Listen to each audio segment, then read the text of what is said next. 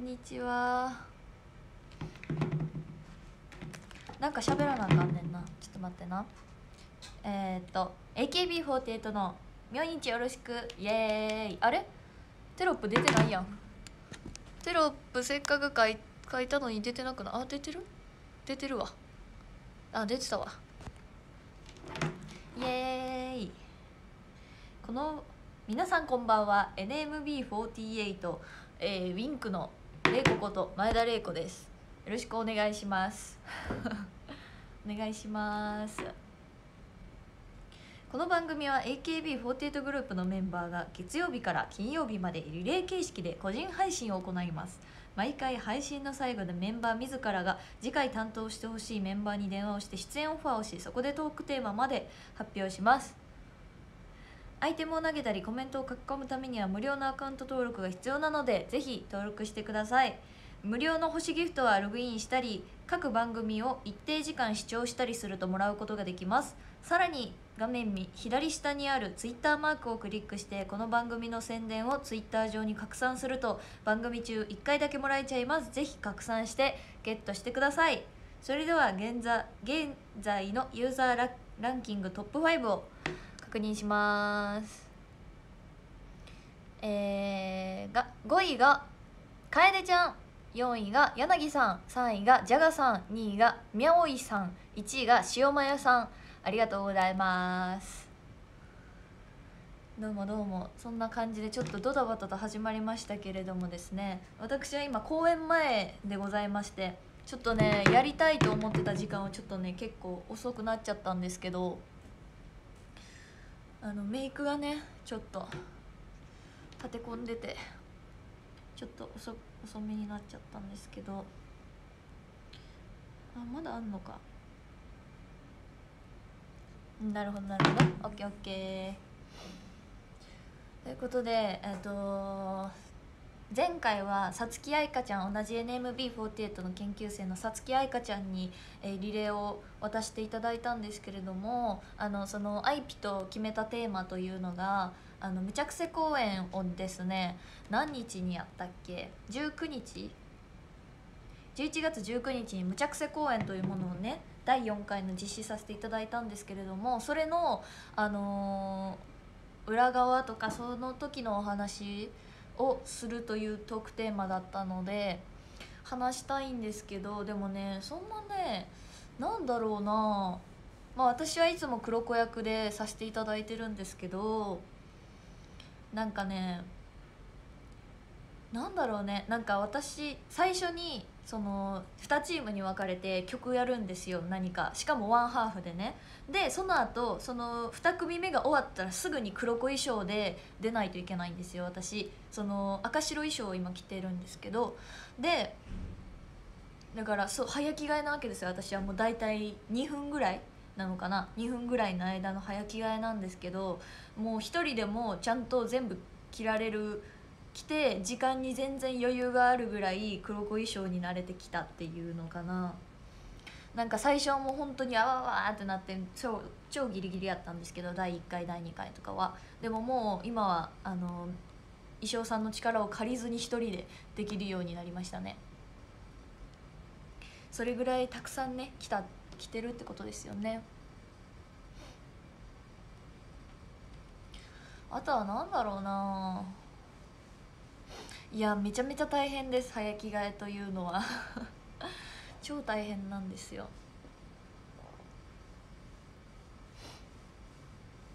無着せ公演の説明無着せ公演というのは木下桃香さんがまず第1回で主催をされた公演なんですけれどもメンバーの殻を破るためにこう作ってくださった公演で最近の NMB48 はおとなしすぎると言われて大人があの桃香さんに相談してできた公演なんですね。なのでその名の通りむちゃめちゃに癖がある公演となっております。公演内容としましては前回だとあのちょっとエッチな身体測定があったりとかあとはゆり劇場って言って、まあ、女の子たちのねあの恋愛を描いた脚本があったりだとかあとは学力バトルとかあのもう公演というよりかはなんかもうショーみたいな感じですねを毎月やってるんですけれどもあのーそんな感じですね。私は毎回あの黒子役で出演させていただいてて私はねもう本当にあの黒子に誇りを持っておりますのであのーななんていうんですか？卒業するまでは絶対に黒子衣装は誰にも着させないという あのプライドを持っております。だからあのーしおりさんがね今回ゆり劇場であの私が黒子役で出れなかったから出演されたんです。こう黒子役をねあのしおりさんがやってくださったんですけどその時も私はもうマネージャーさんにしおりさんがその黒子の立ち位置する時はあの他の衣装にさしでお願いしますってお願いしてあの緑のジャージのままだったんですよ。だからそんぐらい私はあの衣装にこだわりを持っております。っていう感じかな。あそうなんですよ。ちょっとねそれはさすがにあの譲れないですね。黒子の衣装に名前は入ってないですね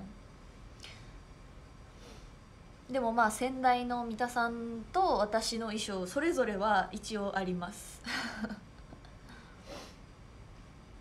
そうそういういきさつがあった。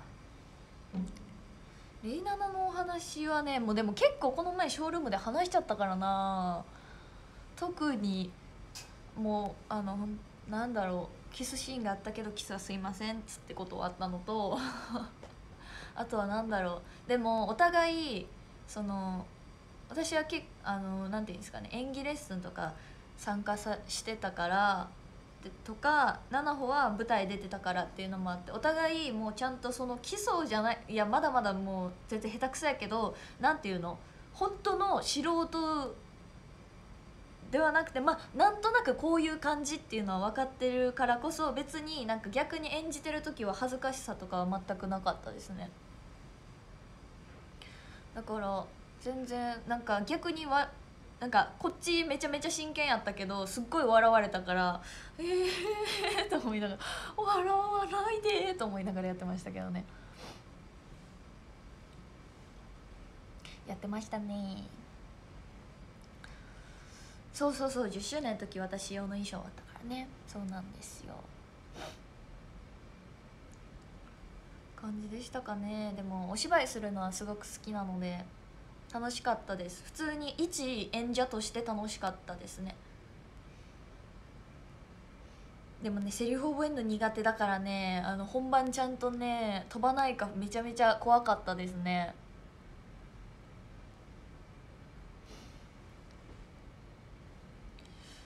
でも意外とそのなんていうんやろリハーサルを全部であの台本なしリハーサルを全部で3回やったんかな。3回じゃあ本番含めて3回やったんですけど台本なしでのその舞台上でのあれを。でも全部あの飛ぶこともなく、まあ、順調にできたのでああよかったって意外と覚えられるもんなんやなと思いましたね。そうだね。私もズーム劇場もズームでね演劇を2回やってあと第1話っていうドラマも1回一応出てるんで一応舞台経験ある舞台というか演技経験はあるっちゃあるっていう感じですね。っていう感じですかね。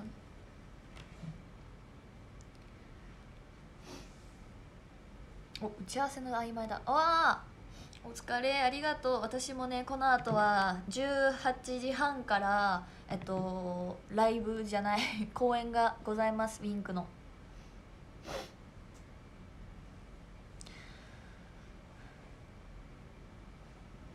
演技好き。やだにー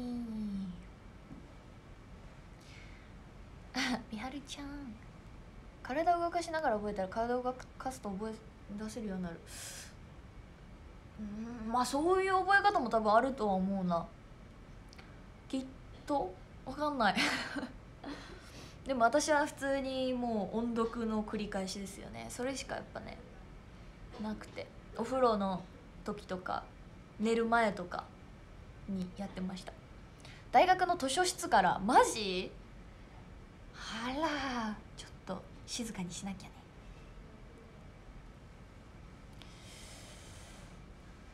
あ寒い。おさっき仕事終わった。おいちかりちゃまそうだね。そう7本もね残り少ないので公演一緒に出られるのもね楽しみたいなと思います。今日はポニーテールイエイでもそんぐらいかなほんまにむちゃくせの話ってなったら。あとはあのー、黒子そのゆり劇場でしおりさんがやってた黒子はあのどうしたらいいですかってすごいあのアドバイスを求めて求めに来てくれてしおりさんが。だから私がもうこういうのでもうちょっとここ削ってみたいな。でこういう時はこういうあれがあるんで話つなげるにはこうした方がいいと思いますみたいなのをちょっとね私まだまだあれですけどちょっとアドバイスなんかもさせていただいて。でもすごいね可愛らしい黒子でしたね。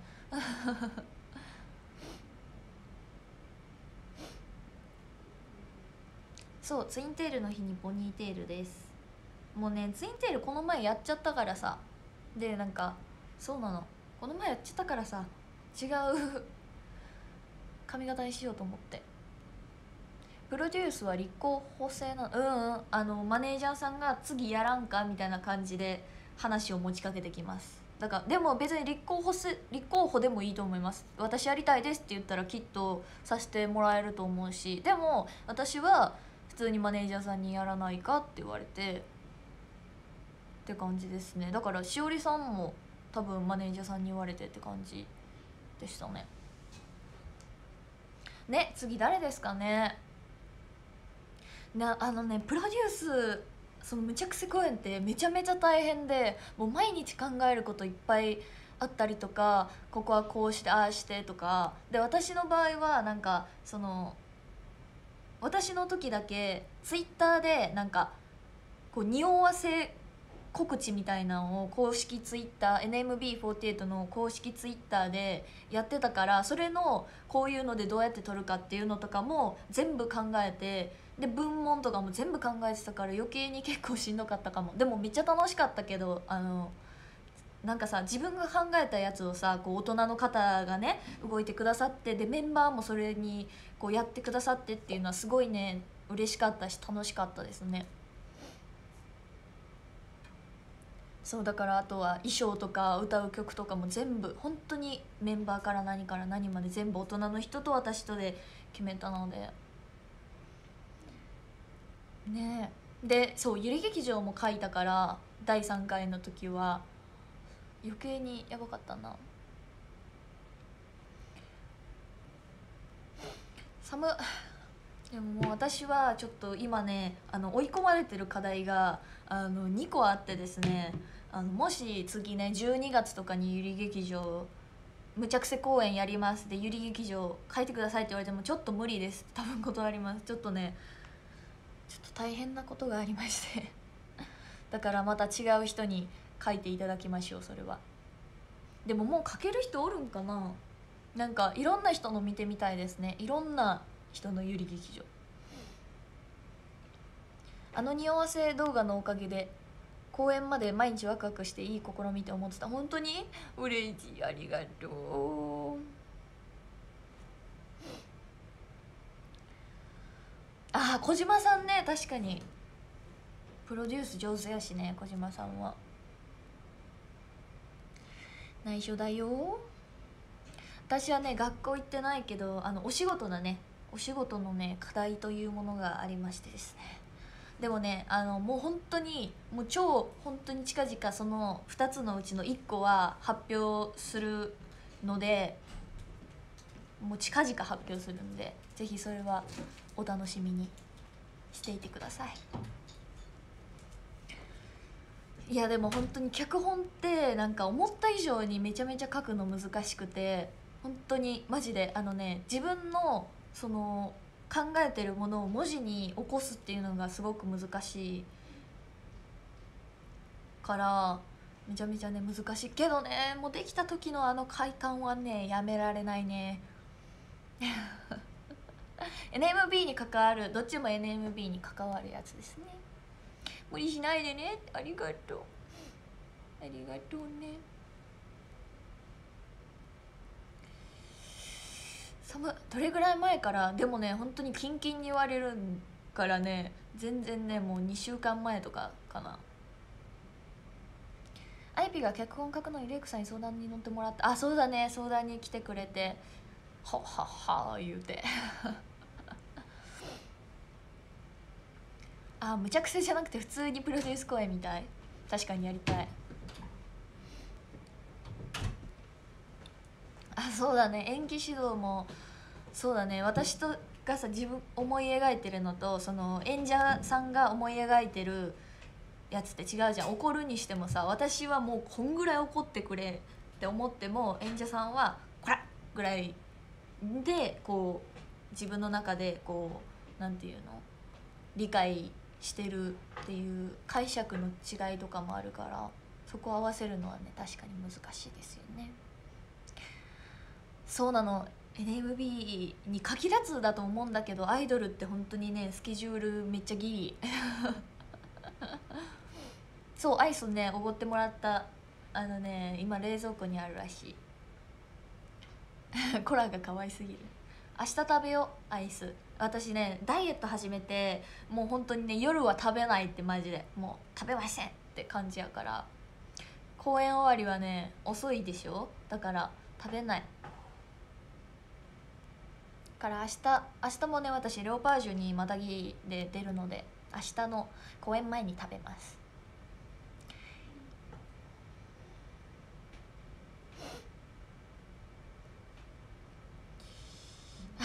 前澤で MC おもろいな。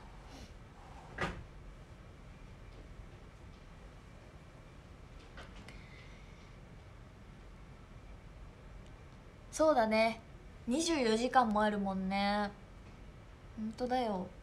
多分12月にあるもんね。なんかそのさそんな感じのこと言ってたよね。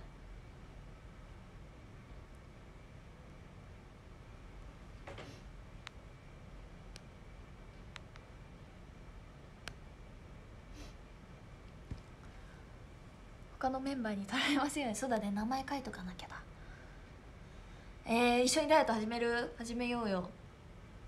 そうちょっと本当に最近めちゃめちゃ食べてそのなんかいろんなメンバーとかその高校の友達とかとご飯っていうか美味しいもん食べにね行ったりめちゃめちゃしちゃってたからもう本当にやばくやばいなと思って。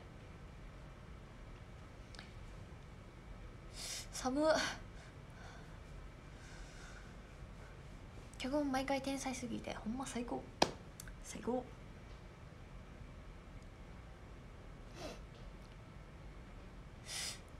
メインに推薦するなら？はーい。2回目やりたい。春から9キロ超えた。いやでもさ本当にさ女の子ってさマジでさ本当ダイエットに不向きな体してるからさマジ腹立つよね。本当腹立つよね。冷蔵庫のやつ名前書かないとなくなりますね。普通になくなります。お成人式あそうなんや。それはもうしよう。一生に一度やからな。私は今日はお昼ご飯はあの煮卵と茶碗蒸しとあと何食べた？あのもち麦おにぎり。あの全部もう低カロリー低カロリー野郎です。3つとも低カロリー野郎。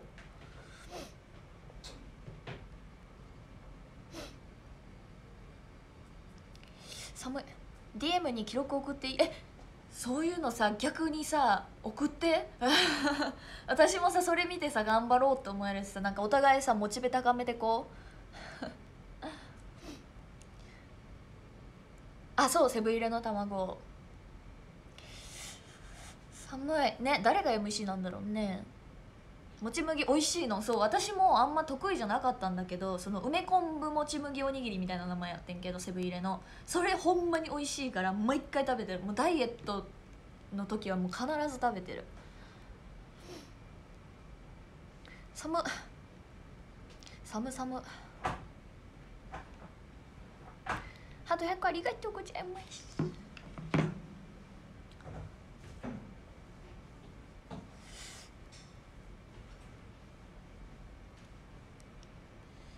ね美味しいよね。え関西の人さセブン入れって言う人おらん？関東はセブンで関西でもセブンって呼ぶ人もおればセブン入れって呼ぶ人も多分ね私はでもねセブン入れ派なの。なんかねサブセ セブンって言ったらなんかちょっとなんかこう関東だなって思っちゃう。あセブ入れセブ入れまあ呼び方なんてね好き 好きに。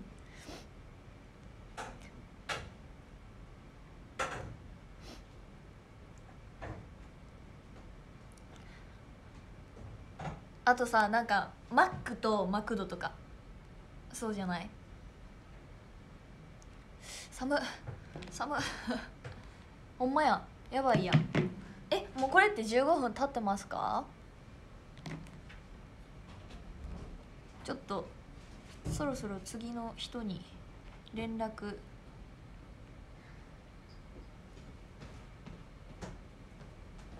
あめっちゃ経ってるやん。そろそろそろぼち。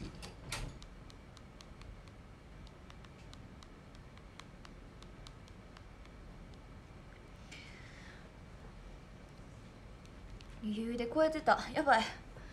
服着替えなあかんしいろいろ考えなあかんこと言うこととかさ MC さちょっとマネージャーさんに既読つけてお願い。お願い既読つけて。お願い。既読つけて。お願い。お願い。お願い。お願い。お願い。お願い。全然既読つかない。お願い。一回かけてみていいかな。全然既読つかんねんけど。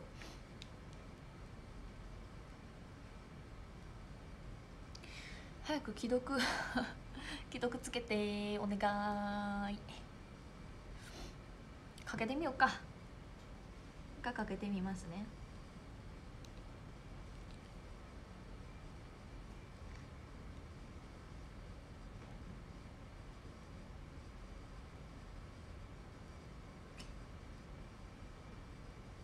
あ出た。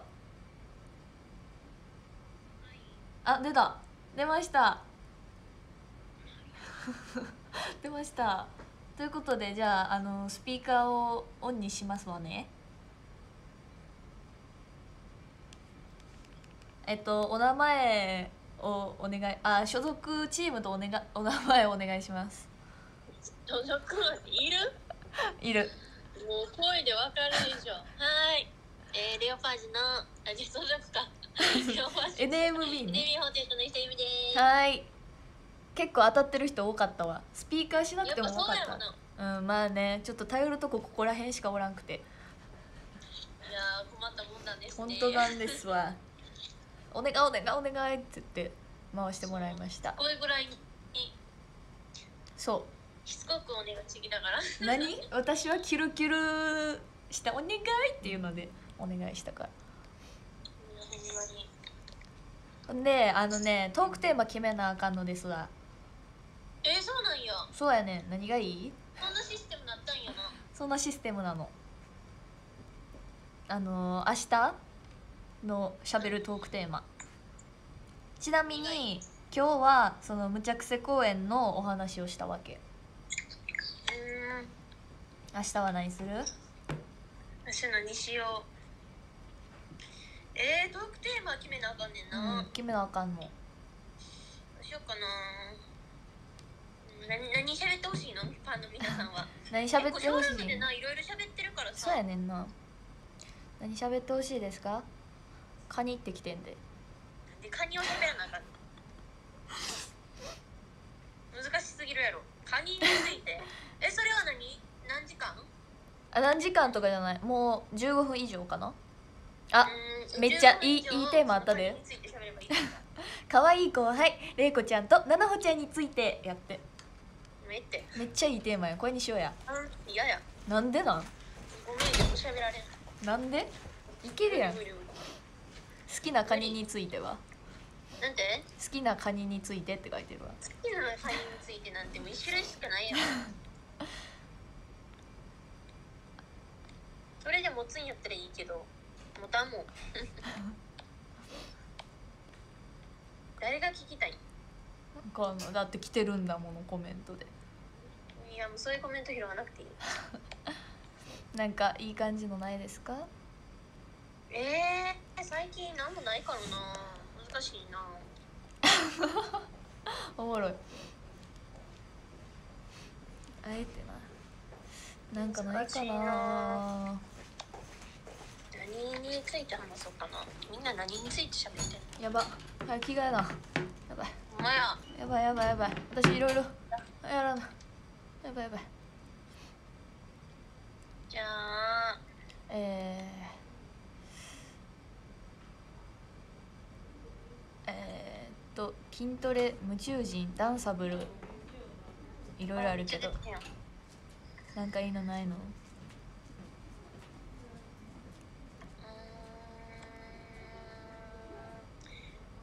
2期生の話。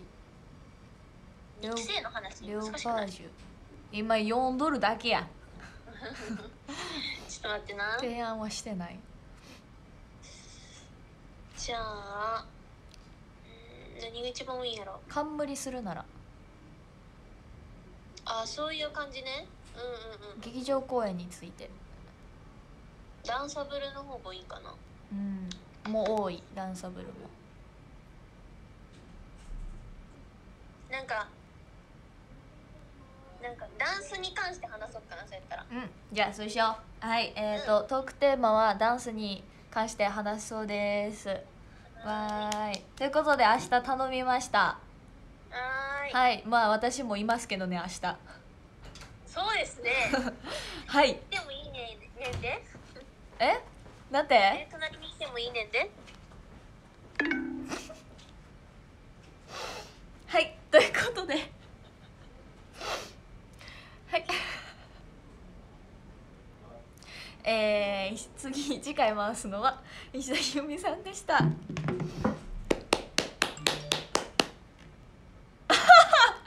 えとけよってきた。